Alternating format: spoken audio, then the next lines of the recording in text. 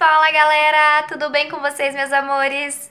Bom, gente, o vídeo de hoje é tutorial desta maquiagem, que eu tô muito apaixonada, gente, sério.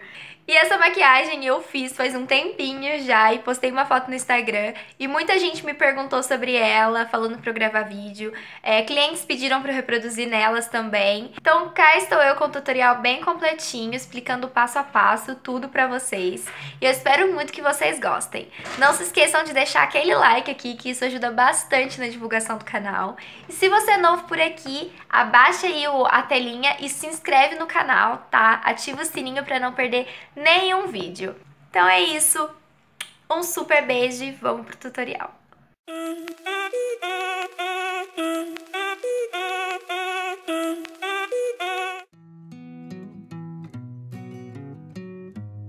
Então bora começar essa make aplicando bastante bruma para hidratar a pele, ajudar na fixação da maquiagem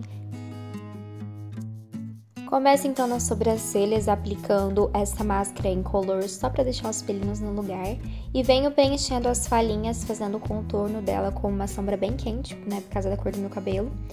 E, gente, se vocês quiserem um vídeo específico de sobrancelha, eu faço, porque eu deixei meio corridinho pra vocês. Mas, enfim, basicamente eu começo é, recortando a parte de cima, depois eu venho a parte de baixo e vou preenchendo as falhinhas e deixo o início por último para ficar uma coisa mais suave, não ficar tão marcado. Em seguida eu vou delimitando as minhas sobrancelhas com o corretivo, eu venho com esse pincelzinho que ele é bem chato e vou fazendo o recorte da parte de baixo e depois da parte de cima com bastante cuidado. E gente, não tem segredo, tá? Eu sigo o formato da minha eu gosto bastante desse efeito porque deixa a sobrancelha com ar mais limpo, sabe?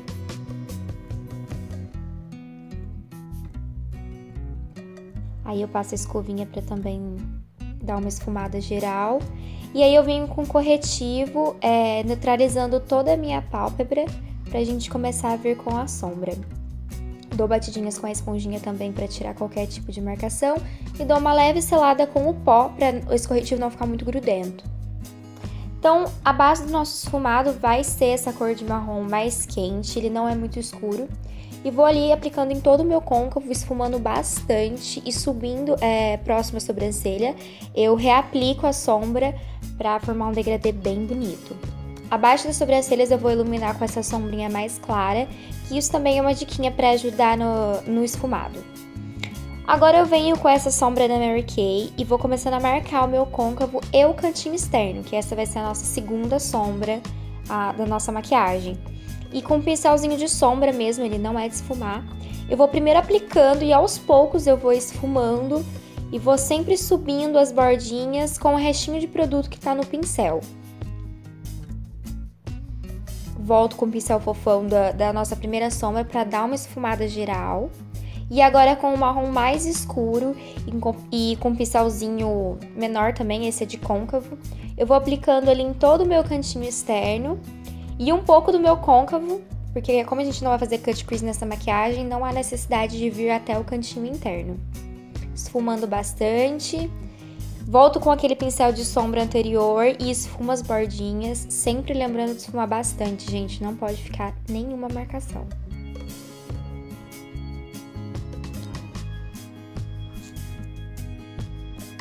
Com esse outro tom de marrom que é mais escuro e com um pincel menor, eu continuo aplicando ali no meu cantinho externo pra gente poder escurecer essa parte. Mesmo processo do anterior, tá, gente?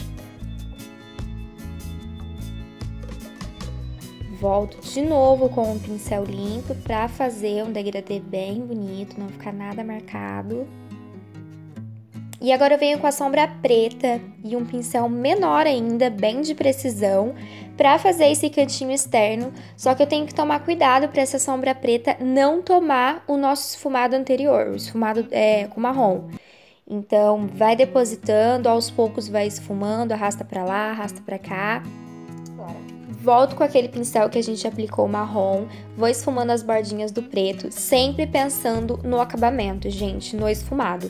Vocês podem ver que eu tô sempre voltando com o pincel anterior limpo pra dar uma esfumada geral, justamente para evitar qualquer tipo de marcação. Bom, agora com o corretivo eu vou aplicando na minha pálpebra no canto interno. Não vai ser um cut crease dessa vez, tá? Vai ser uma sombra bem esfumada. Então eu vou aplicando e depois eu vou dando batidinhas com o dedo pra ficar bem esfumado.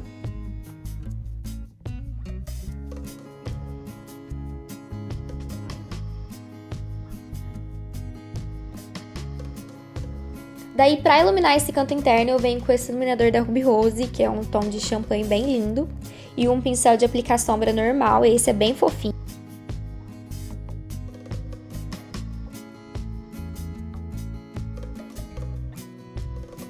Com o pincel que a gente aplicou marrom, eu volto com ele sem nada de produto e só vou esfumando ali para dar essa transição entre as duas cores e não ficar aquela divisão feia. Daí, gente, eu vou aplicar um fixador de sombras pro nosso astro da maquiagem, que é o pigmento. Esse pigmento é simplesmente maravilhoso. É surreal, gente. Eu queria que na, a câmera mostrasse o quão lindo ele é, sério. Vocês tinham que ver pessoalmente. Se vocês tiverem a oportunidade de comprar, comprem, porque ele é divino. E daí eu vou aplicando sem mistério. Depois com o pincel limpo, eu vou esfumando ali é, entre as duas sombras também, para não ficar aquela divisão feia entre o pigmento e o esfumado. Essa maquiagem tem delineado gatinho, então eu deixei rodando aí um pouquinho para vocês. Mas se vocês tiverem alguma dúvida e quiserem, eu posso fazer um vídeo detalhado sobre isso. E eu gosto de fazer é, o delineado com o delineador em gel, mas depois eu venho dando acabamento com o delineador líquido, principalmente quando tem pigmento ou glitter, porque eu acho é, melhor, eu gosto de trabalhar assim.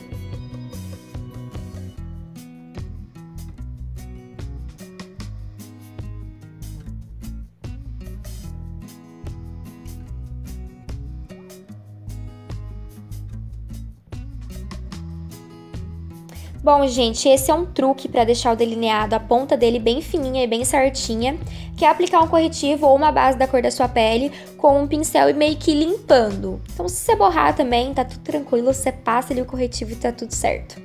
Depois eu venho com a máscara de cílios e aplico os cílios postiço. Eu não mostrei para vocês, mas enfim. E daí eu venho com a base agora, essa da Ruby Rose vou aplicando em todo o rosto. E como ela tem a cobertura bem alta, gente, eu gosto de aplicá-la direto com a esponja. Então eu vou dando batidinhas, a esponja é úmida, tá? Porque ela tem a cobertura bem alta, então eu acho que com o pincel não fica um acabamento legal.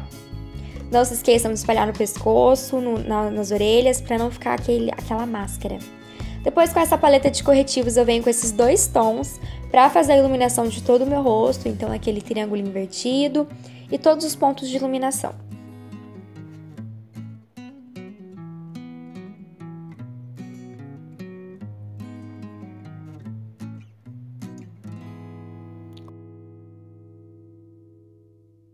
Com esse tomzinho aí do meio, eu vou fazendo o contorno do meu rosto.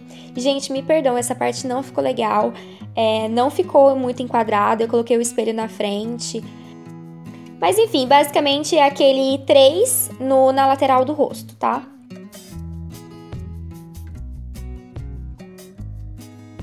No nariz eu também fiz o contorno, só que com um pincel menor.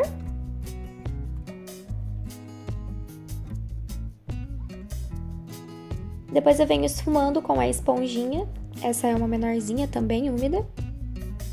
Pra parte clara eu usei ela e pra parte escura eu usei a outra esponjinha, só que a bundinha dela. E fui dando batidinhas. Cuidado, tá, gente? Pra não deixar é, esse corretivo marcado. Bom, agora eu venho selando tudo isso com esse pó da Shines, que é o meu queridinho. Fazia muito tempo que eu não usava ele. E eu esqueci o quão maravilhoso ele é, gente. Vou selando todo o rosto. E na parte de baixo dos olhos, para pegar melhor, eu prefiro selar com a esponjinha queijinho. Então eu venho com o pó e vou dando batidinhas ali. E para selar o nosso contorno em creme escuro, eu venho com esse pó da Vult, que é o 05. E vou passando normalmente aonde eu fiz o contorno em creme.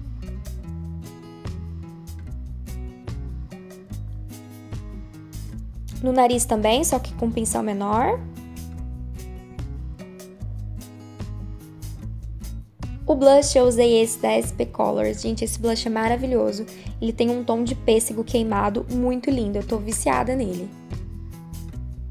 E agora já venho para a parte inferior dos olhos e eu vou aplicando o delineador em gel ali com o pincel de precisão. E em seguida já venho com a sombra preta esfumando com esse outro pincelzinho. Daí eu venho com o pincel lápis e aquela, aquele marrom que a gente usou no côncavo e vou esfumando esse preto. Por último, eu pego um pincel menorzinho de esfumar e aplico aquela sombra da Mary Kay para dar esse tomzinho mais quente na parte inferior dos olhos. E esse olho, gente, é muito dramático na parte inferior. Então eu venho com um lápis preto, esse da Diva More. Gente, esse lápis é surreal a pigmentação dele. Ele é muito macio, é maravilhoso. Eu venho aplicando ele na linha d'água. Muita bruma, gente, porque bruma é vida. Essa aguinha é maravilhosa, depois que eu termino de fazer a pele, eu sempre passo ela. Dá uma absorvida em todos os produtos, a pele fica muito bonita. E é bem legal você aplicar ela antes de aplicar o iluminador, porque deixa um glow muito mais, muito mais bonito, deixa o iluminador mais vivo, sabe?